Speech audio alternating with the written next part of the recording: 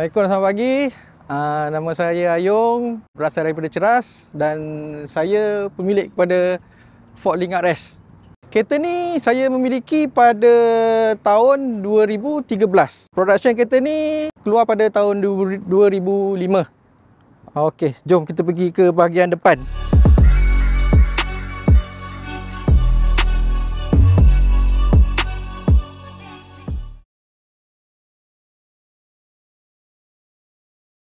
Sebab saya memilih model Link RS ni uh, adalah kerana kereta ni dia datang dari, daripada kilang dengan lampu smoke, lips dan sunroof. Ada setengah user Ford ni, diorang convert kepada Mazda BJ. Uh, rupa depan Mazda BJ lah. Uh, SP20 kan. Tapi bagi saya, saya sukakan identiti asal Ford. Jadi saya kekalkan identiti asal Ford lah untuk model ni dia sebenarnya enjin dan juga chassis dia berkongsi dengan Mazda BJ SP20. So untuk part enjin uh, dia memang sama. Kita boleh boleh guna barang Mazda lah. Kalau anda kata kalau ada masalah ke apa ke kan kita boleh tukar kepada part Mazda lah. Jadi untuk part enjin dia memang tak ada masalah lah.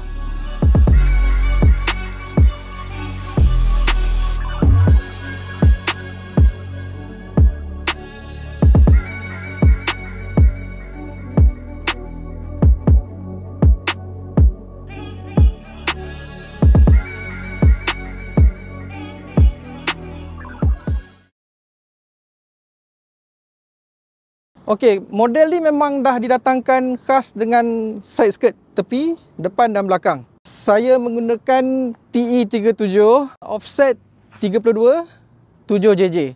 Tayar depan ah biasalah tayar Marhain semi slick Samek 195 55 15. Okey, kereta ni sebenarnya special sikit suspension dia sebab untuk mendapatkan suspension ni original Ford memang susah lah kan.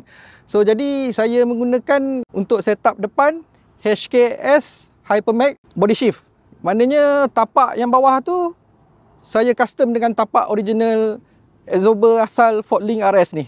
Okey, untuk braking system saya masih mengekalkan sistem brake yang asal. Cuma pernah membahbaikan saya buat cross drill je lah. Sebab bagi saya untuk uh, jentera ni masih mencukupi kalau menggunakan setup brake standard.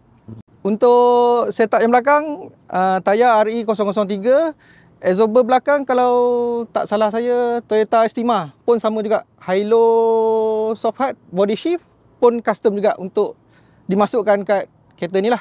Okey, uh, sebab saya menggunakan exhauster custom ni sebab pada masa yang saya ambil kereta ni untuk dapatkan exhauster aftermarket harga dia keras. Ha, boleh tahan harga dia. Kita ambil jalan yang singkat, kita customkan suspension ni dan telah terbukti kereta ni pernah bermain track day memang tak ada masalah. Selamat digunakan.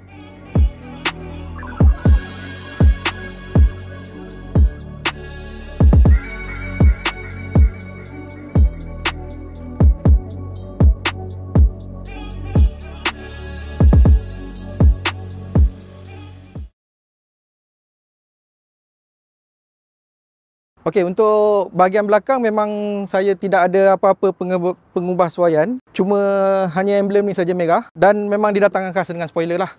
Okey, untuk sistem exhaust kereta ni telah menggunakan piping 2.5 inci dan exhaust belak tabung belakang RSR.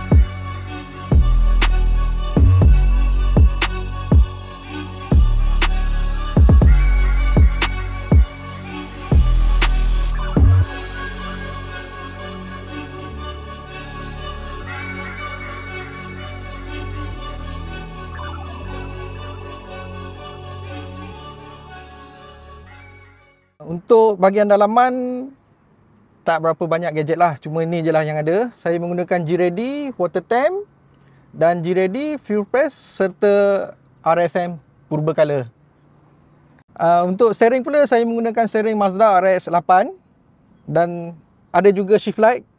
Uh, saya gunakan semasa bermain dalam sukan 280 meter satu masa dahulu.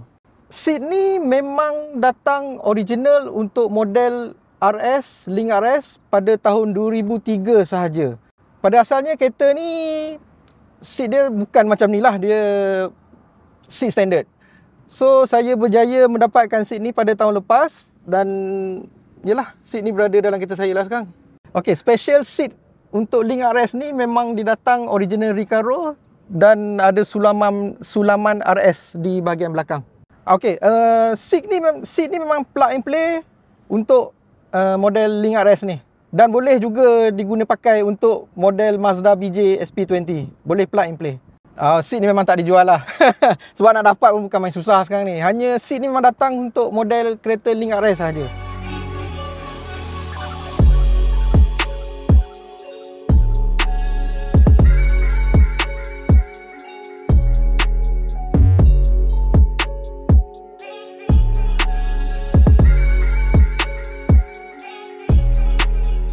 Okey, pada asalnya kereta Link RS ni datang dengan transmisi automatik. Saya dah mengambil jalan yang singkat. Saya convert kepada manual. Apa yang saya tukar adalah complete set wiring daripada Mazda Speed SP20 intake uh, instructor ni daripada Hobbit dan ada high cam Mazda Speed lah. Maknanya duration dia lagi tinggi daripada high cam original kereta ni. Untuk penjagaan kereta ni dia sama je macam kereta lain sebenarnya tak ada masalah pun jangan jaga minyak hitam, minyak gearbox dan servis ikut jadual lah. Jadi so memang tak ada masalah pun sebenarnya pakai enjin ni. Kadang-kadang setengah orang takut nak pakai kereta Ford ni kan. Mungkin sebabkan dengar jenama Ford tapi sebenarnya bagi saya sama je. Ada sesetengah part dia mungkin ada lebih murah daripada kereta nasional.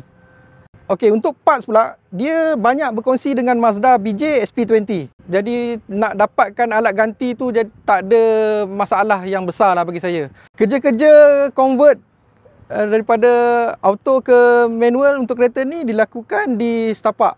Nama bengkel BP Pro Works. Okey, BP BP Pro Works memang memang ada buat Mazda dengan Ford lah. Dan kereta lain pun ada buat juga. Tapi kepada user Ford dan Mazda boleh berkunjung ke BP Pro Works setapak. Untuk next project kereta ni tak ada banyak sangat dah sebenarnya. Saya nak tukar kepada cat, uh, saya nak tukar color lain. Mungkin standalone dengan kereta ni. Ah, itu sahaja. Uh, management yang menjadi pilihan saya mungkin link uh, Atom lah. Uh, okay, terima kasih banyak kepada Abang Ulia daripada Galeri Kereta kerana sudi review kereta saya yang tak seberapa ni. Uh, jangan lupa subscribe, like dan share. Terima kasih Galeri Kereta. Thank you bang. Kereta kereta lawa ni bang.